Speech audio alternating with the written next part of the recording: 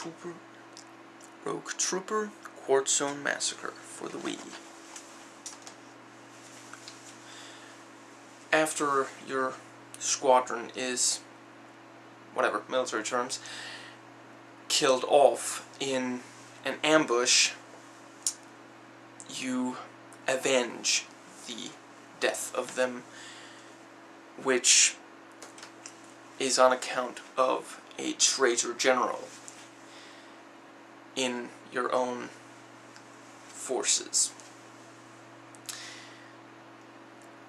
And that's basically the story here. The traitor general isn't really much of a character, he's just the villain that you're supposed to hate. And he's got, you know, a second command. There isn't a lot plot-wise that really surprises here. And though the game is about this all-out war, you do not win the war overall. The game is over once you've, you know, gotten revenge for your fallen comrades. And the gameplay is essentially Splinter Cell Light. You know, it's that kind of tactical shooter, some stealth, much less stealth than your average Splinter Cell title. And you do have some gadgets, but you have far, far fewer than, again, any Splinter Cell title. So what is the real attraction here? What makes this not just average? It's not the motion control use. Avatar beats it out on that. In fact, there's hardly any motion control use in this, but I'll get back to that. No, it's the universe. It's based on the 2000 AD comic series, same as with Judge Dredd. I'm not entirely sure if this is the exact same world, but it certainly is a similar one, post-apocalyptic, and I'll get into more description of it. I have not read any of the comics, but it seems like they really did what they could to put a lot of stuff from the comics onto the small screen. And it certainly is cool. It's a very fun gaming experience. I mean, it took a little while, but the more I played it, the more I found myself getting into it. And then it ended, but yeah. It's not much longer than a Max Payne game basically, you are fighting on Nu Earth. That's where you are for the entire game. This big planet of various different situations of desolation. You know, there's a desert, there's a petrified forest, there are some cities and more commonly some ruins of cities. And, yeah, the planet is of immense strategic importance because it is quite close to a black hole. And it has been discovered back in 2000 AD that these black holes can be used to transport to anywhere in the galaxy. You know, in the future, or the past, we learned how to utilize them. You know, they're no longer just dangerous and unpredictable. So both the Norts and the Souths want this place. And basically, because of this importance, it's been nuked so many ways, so many times. There is no natural life left on this thing. There are some mutated life forms, like spiders that are about this big and very aggressive life forces, life forms. And really, other than those, and the human soldiers with their thick safety gear on, including oxygen tanks because the air is not breathable. If you want some fun, shoot a hole in one of those oxygen tanks. The guy will not be able to do anything because he'll be busy just trying to fix it, and he can't. And maybe two seconds later, he will fly off.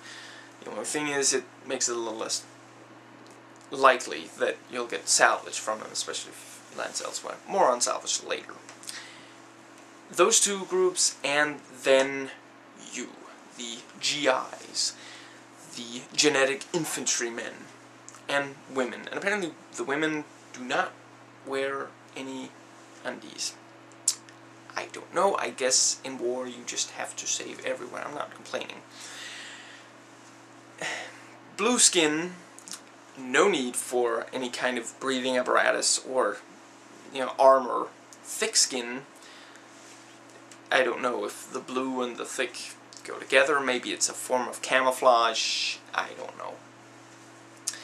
They also have these glowing white pupils, I don't know, camo something, I don't know, and a biochip, and these are, you know, clones, you see the clone babies.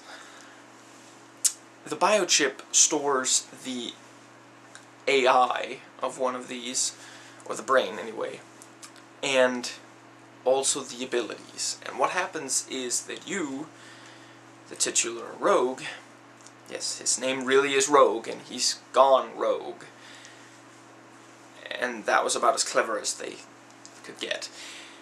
He picks up three of his buddies' biochips and he attaches them to his gun, his helmet, and his backpack his backpack can now produce ammo and upgrade in addition to keeping the map and keeping track of the objectives, which, by the way, it tends to not really tell you directly, just, you have to go check for yourself, so sometimes you're, if you're running around not knowing where to go, it's because you haven't checked the objectives since last time, a little annoying. Provided you get salvage for these upgrades and production of ammo, which you get from any soldier dead. Your own men do not provide as much salvage as the other sides. And, you know, machines, vehicles, you know, whatever you destroy and can get close to and it doesn't completely disappear, you can get salvage from. And sometimes there are also just broken things somewhere in the battlefield and you can find the salvage. The helmet is a sort of hacking thing. He takes the helmet off, places it on a keyboard, and he can open a door or he can, you know, enter a computer. It also allows a hologram copy of Rogue, which can attract sniper fire, which you'll know by laser laser sight. You know, you'll see the laser if you ever see that on Rogue, you'll just want to dive out of the way. Fortunate though that the dive out of the way button is the same as the action button and yeah, sometimes when you're trying to do something you might accidentally do the opposite. That's unfortunate. Anyway, this hologram doesn't seem to work absolutely perfectly because I haven't really found a way to turn it off other than to just let it run out of power and then you can't use it for a little while. But you can attract enemy fire with it. And, you know, follow the laser, you know, you'll know the angle and you'll find him and you do have a sniper. And the gun it offers a sort of assisted aim, auto aim, and if you're pointing to either the oxygen tank or the head of an enemy soldier, or in general just if you're pointing to a weak spot with the regular rifle. Or possibly also the shotgun. Anyway, you will get a little icon letting you know that this is where you should shoot. And the gun is also a sentry gun. You can put it anywhere you want. It only takes a couple of seconds to put there and to pick back up. When you've put it down, it will offer 360 degrees worth of cover, but you will only yourself be armed with the pistol, and the pistol is not that useful, so keep that in mind. But it is very efficient if you're like, if you're covering a door. Maybe I should at this point point out that the game is indeed entirely linear, and so is the multiplayer co-op. More on that later. The you do also fight vehicles. Basically, the those underground armored personal personnel carriers from Tiberian Sun. Those are in this, and you know, I think they are called drill or drillers. And yes, they will show up right in front of you, you know, dig up right in front of you, land a bunch of troops. I don't know if you can destroy the drill. I have never been able to. I've never... I may have always been busy just getting the heck away from the thing because it's armed with a machine gun on either side and sometimes these drills don't actually go away until you've killed all the troops that it brought with it. There are these jets that you can shoot down and submarines. For shooting down some of the bigger ones, you will need either an emplacement or the SAMI, which is a heat-seeking missile launcher. It takes a couple of seconds to lock on, but once it does, as long as it doesn't have to make any corners, it's gonna hit it. Now, you might also need more than one missile to take down what you're firing at, but yeah. And in addition to that, you also get a beam rifle. It's basically your, your average electrical weapon in a futuristic sci-fi game. Not, excuse me, much to say there. Then there is the shotgun and the mortar. And the mortar, you basically tell it. You know, you point to the enemy you want to shoot at, and he will automatically shoot in an arc above it. You know, if the enemy's here, you're aiming straight at him, you shoot, it'll automatically go in an arc. And like three shells will be unleashed. That can also be used for taking out the mechs. And by the way, the mechs and the jets and the drills do also show up in co-op multiplayer. And so do the sentry towers, the snipers, and the machine gun nests. The the mechs can also be taken out with scrambler grenades, which are basically like EMP. Do note, it will not take them completely out. You still have to go and actually kill the guy inside it before it, you know, just powers up again. So, yeah. And there are also sticky grenades, which will, as the title alludes to, stick to any surface of an enemy, even sometimes if you don't hit that enemy directly. There are, frag grenades, you have micro mines, which you can trigger yourself from a distance. And there are incendiary grenades, and yes, these do set the enemy on fire. Now, the gun emplacements. Basically, you can take over any machine gun nest you find. Then there are the flak cannons for shooting down jets, the Hell cannon, I think it's called, for such things as submarines and also jets. And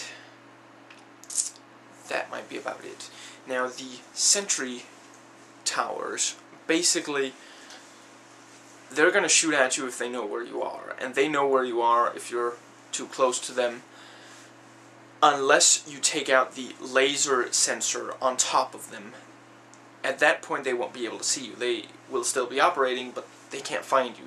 And you can then go and destroy it by, you know, sticking your arm inside, tearing out some of the vital machinery to it. Now, you do not get to ride any vehicles yourself, unfortunately. Only the gun emplacements. But for, I think, at least two levels of single player, not multiplayer, unfortunately, you do get to protect vehicles from on the vehicles or in the vehicles. Either you have a gun emplacement or you run around on top of something with several gun emplacements that you have to go back and forth between. These levels are really tough, but they are also pretty fun. I just wish they had implemented them in multiplayer, especially if, like, one of them could drive the vehicle, you know, get the jet safely to a specific location, or even if just both players or all four players just had a turret each, you know, that'd be cool too. The game can be challenging, and sometimes it's because the 360 degree camera is a bit irritating because there's no center view in this. Basically, it turns equally fast each time. I mean, you can adjust it, but it'll just be, yeah, you know. So if you're suddenly in a dangerous situation, you have to very quickly look in a different direction, you kind of can't. And you're likely to just get shot a bunch unless you can get to safety without knowing exactly where you're going. Because the controls are basically you can walk in any direction you can. It's not just walking forward and Rogue pretty much moves equally fast no matter which of the four main directions he's going. So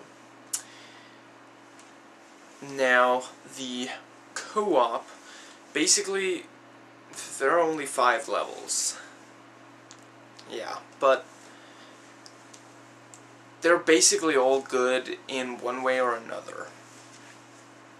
More or less. There's at least one of the so-called progressive levels that are really, really awesome now. Before I scare anyone with such a political sounding name, progressive in this game means that you have to get from point A to point B, pretty much like in the single player portion, without dying on the way, although in multiplayer you do have several lives. And basically you have to work together to get past these areas because it's not just wave after wave of enemies, the enemy knows you're coming and they've positioned themselves tactically. You know, you have to fight past obstacles that might not be that likely for you to get past if you're just one person, you know, or if you're not working together with the others. By the way, multiplayer, split screen. I don't know, not that great of an idea, I think, because, well, I only played it with two, and that was annoying enough with the camera. I don't even want to think about how just pure punishing this must be if you're playing as four players. You know, trying to turn the camera constantly with the, yeah. Anyway, so there are three progressive levels and then two of the so-called Stronghold. Now, Stronghold is not as fun as it sounds. It's basically protective duty for one GI, and they are really freaking tough. I haven't been able to complete one of those yet. And it's, you know, with a set time limit. What makes it so tough is that the enemy is constantly coming at you and they use both, you know, they use regular soldiers, they use vehicles, and they use sentry towers.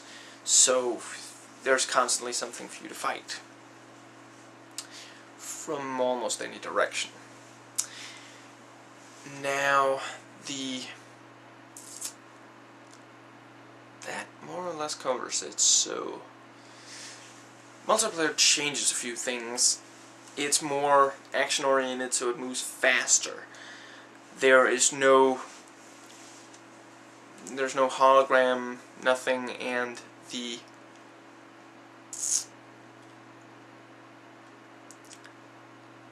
the producing of or upgrading know, the producing of ammo or upgrading of abilities does not happen at all. There's also no collecting salvage. Instead, to get more ammo and such, you have to pick up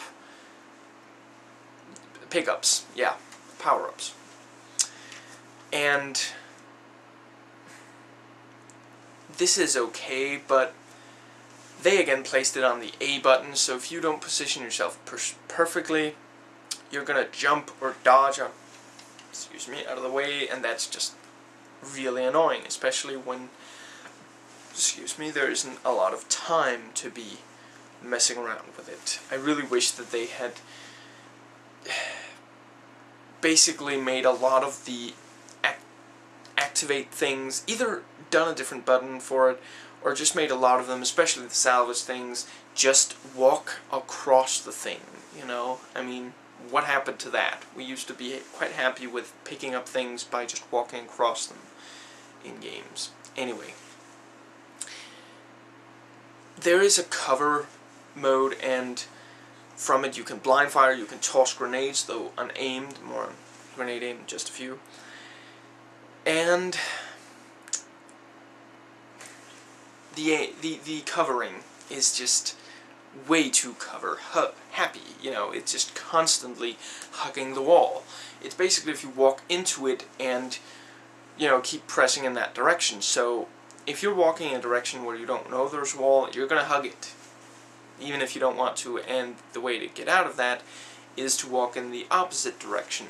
Because if you flick the nunchuck, which you might do like, you know, stop that you're going to toss a grenade, and yeah, you might kill yourself just because you couldn't see the direction you were going in. Now, oh, and in, addition to blind fire, you can also do aimed fire over obstacles that you're taking cover behind.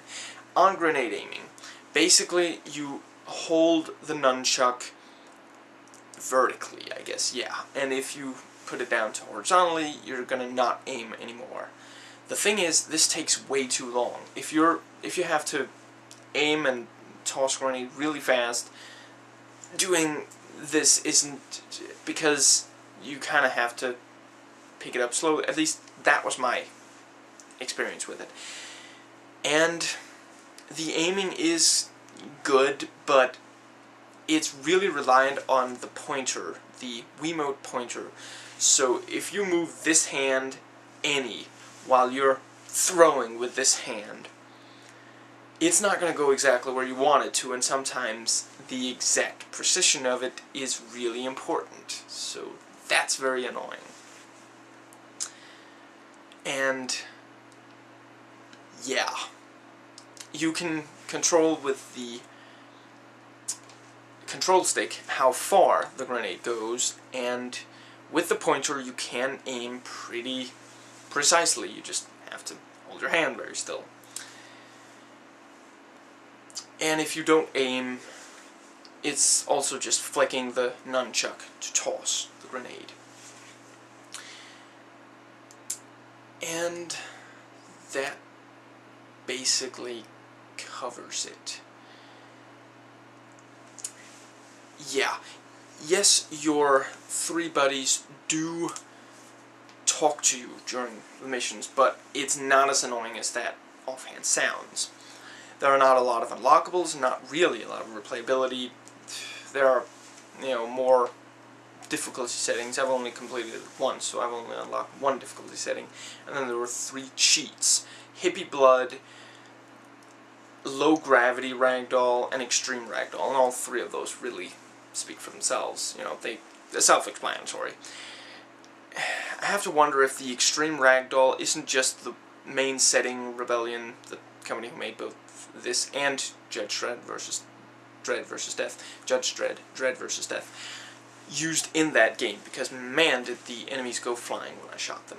Anyway, yeah, apparently they do have several 2000 AD licenses, and with how relatively good they're doing on them, I say keep them coming, you know.